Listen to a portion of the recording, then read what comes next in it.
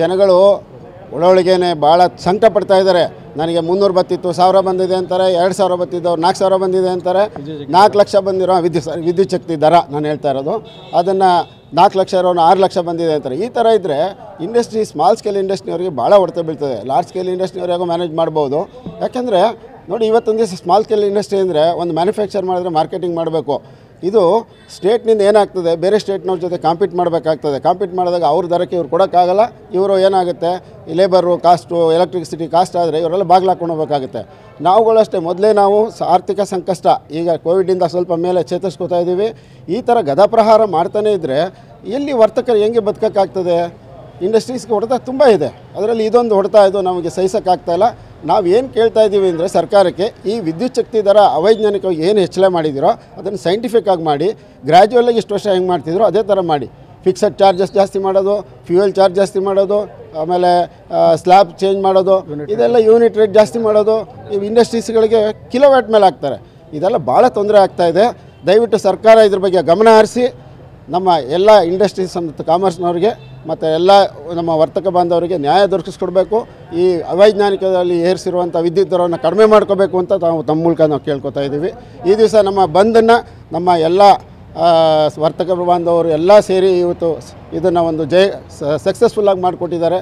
ತಮಗೂ ಸಹ ಇದ್ರ ಮೂಲಕ, ನಮ್ಮ ಮೂಲಕ ನೀವು ಇದೆಲ್ಲ ಕೋಆಪ್ರೇಷನ್ ಮಾಡಿದ್ದೀರಾ? ಅವೈಜ್ಞಾನಿಕ ಅಂದರೆ ಹತ್ತು ಪ, ನೂರು ಪರ್ಸೆಂಟ್ ಜಾಸ್ತಿ ಮಾಡಿದ್ದಾರೆ. ಕರ್ನಾಟಕ ಕಾಂಗ್ರೆಸ್ ಸರ್ಕಾರ ನೂರರಷ್ಟು ಜಾಸ್ತಿ ಮಾಡಿದೆ. ವಿದ್ಯುತ್ ದರ ಅವೈಜ್ಞಾನಿಕವಾಗಿ ಆ ದರನ ಏರಿಸಿದ್ದಾರೆ. ನಾವು ಕೇಳ್ಕೊಳ್ಳೋದಷ್ಟೇ ದಯವಿಟ್ಟು ವ್ಯಾಪಾರಸ್ಥರಿಗೆ ಭಾಳ ತೊಂದರೆ ಆಗ್ತಾ ಇದೆ. ತಿಂಗ್, ಈ ನಮ್ಮ ಕೈಗಾರಿಕೆಗಳು ಅಂದರೆ ಫ್ಯಾಕ್ಟ್ರಿಗಳು, ಸುಮಾರು ಸಣ್ಣ ಮುಣ್ಣ ಫ್ಯಾಕ್ಟ್ರಿಗಳು ವರ್ಷಕ್ಕೆ ಬರೀ ನಾಲ್ಕು ತಿಂಗಳು ನಡೀತಾ ಇದೆ. ಅದರಲ್ಲಿ ಈ ಥರ ದರ ಜಾಸ್ತಿ ಮಾಡಿ ಅವ್ರ ಮೇಲೆ ಹೊರೆ ಹಾಕಿ ಏನು ಮಾಡ್ಬೇಕು ಹೇಳಿ ದಯವಿಟ್ಟು ಯೋಚನೆ ಮಾಡಬೇಕು. ತಮ್ಮ ಸ್ವಾರ್ಥಕ್ಕಾಗಿ ನಮ್ಮ ಜನರನ್ನ ಅಂದರೆ ಸಂಘಟನೆಗಳನ್ನ ಬಲಿಪಶು ಮಾಡಬಾರ್ದು. ಸರ್ಕಾರದವರು ದಯವಿಟ್ಟು ಇದನ್ನು ಗಮನಕ್ಕಿಟ್ಟು ಕೇಳಬೇಕು. ತಮ್ಮ ಸ್ವಾರ್ಥಕ್ಕಾಗಿ, ತಮ್ಮ ಹಕ್ಕಿಗಾಗಿ ಇನ್ನೊಬ್ಬರ ಮನೆಯನ್ನು ಹಾಳು ಮಾಡಬೇಡಿ. ದಯವಿಟ್ಟು ಅದನ್ನು ಗಮನಕ್ಕೆ ತಗೊಂಡು ವಿದ್ಯುತ್ ದರನ ಕಡಿಮೆ ಮಾಡಿ ವ್ಯಾಪಾರಸ್ಥರಿಗೆ ಎಲ್ಲರಿಗೂ ಒಳ್ಳೇದಾಗಂಗೆ ಮಾಡಿ ಅಂತ ನಾನು ಕೇಳ್ಕೊತೀನಿ. ಮಂಡ್ಯ ಜಿಲ್ಲಾ ವಾಣಿಜ್ಯ ಮಂಡಳಿ ಮತ್ತು ಅದರ ಜೊತೆಗೆ ಎಲ್ಲ ಸಂಘ ಸಂಸ್ಥೆಗಳು ಸೇರಿ ಇವತ್ತು ಅವೈಜ್ಞಾನಿಕ ವಿದ್ಯುತ್ ದರ ಏರಿಕೆ ಬಗ್ಗೆ ಮೌನ ಮೆರವಣಿಗೆ ಮತ್ತು ಡಿ ಸಿ ಅವರಿಗೆ ಒಂದು ಮನವಿ ಕೊಡುವುದರ ಬಗ್ಗೆ ನಮ್ಮ ಪ್ರತಿಭಟನೆಯನ್ನು ಸೂಚಿಸ್ತಾ ಇದ್ದೀವಿ. ವಿದ್ಯುತ್ ದರ ನಮಗೆ ಕಡಿಮೆ ಆಗಬೇಕು. ಸಿಕ್ಕಾಬಟ್ಟೆ ನೂರರಿಂದ ಇನ್ನೂರು ತನಕ ಏರಿಸಿದ್ದೀರಿ. ಅದು ಯಾವ ಅವೈಜ್ಞಿಕವಾಗಿದೆ.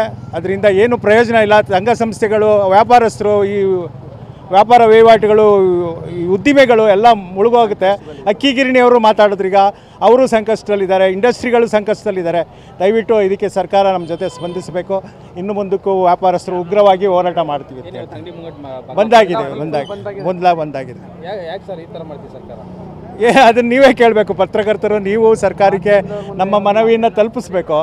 ನಿಮಗೂ ಗೊತ್ತಿದೆ ಯಾಕೆ ಏರಿದೆ ಅಂತ ಹೆಂಗೆ ಏರಿಸಿದ್ದಾರೆ ಅನ್ನೋದು ಗೊತ್ತಿದೆ ನಿಮಗೂ.